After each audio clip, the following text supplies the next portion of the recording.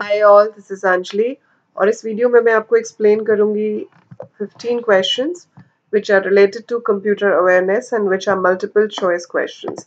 ये क्वेश्चन ज़्यादातर आपसे किसी भी कॉम्पिटिटिव एग्ज़ाम में पूछे जा सकते हैं।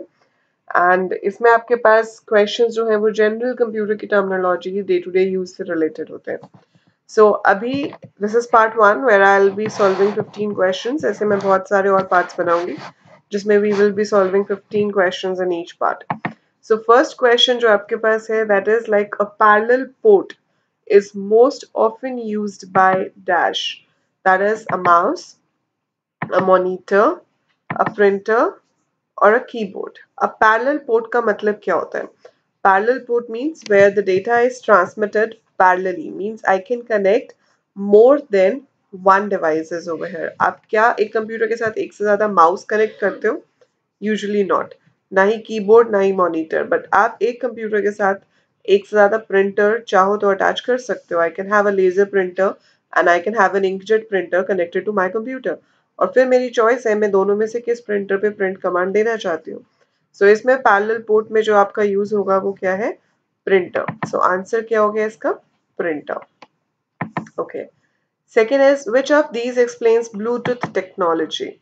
So landline phone to mobile phone communication, wireless communication between equipments, signal transmission on mobile phones only, satellite television communication. So it's wireless communication between two equipments.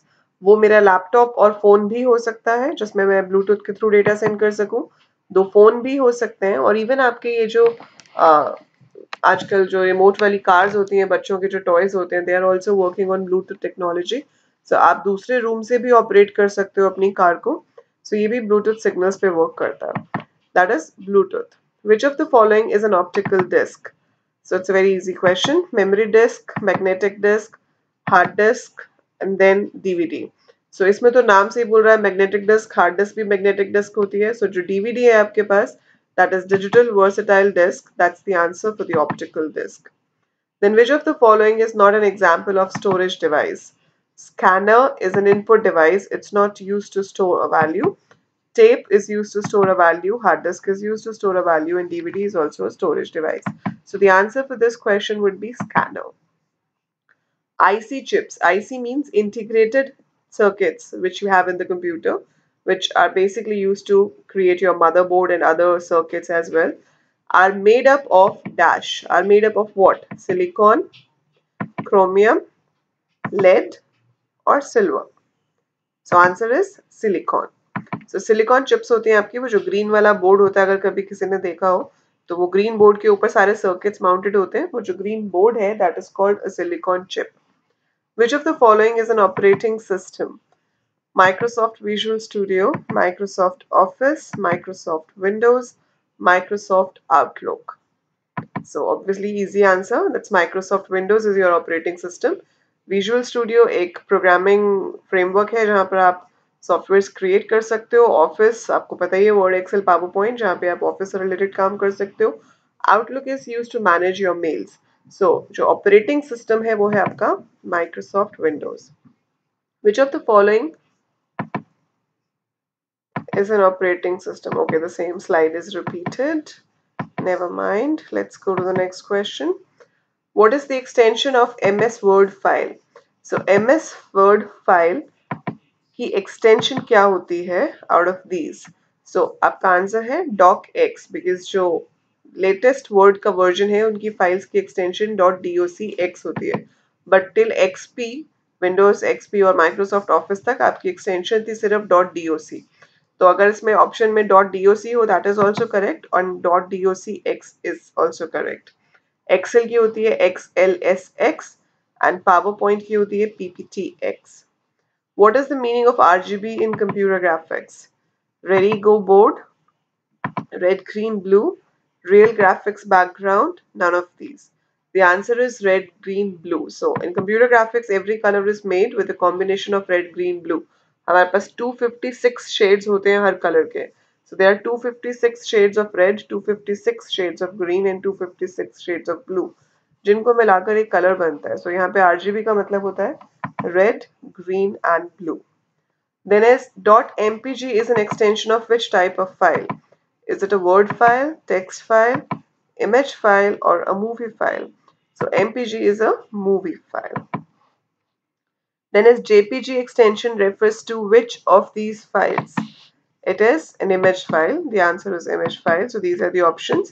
But the answer for this is image file. And the full form of JPG is joint photographic.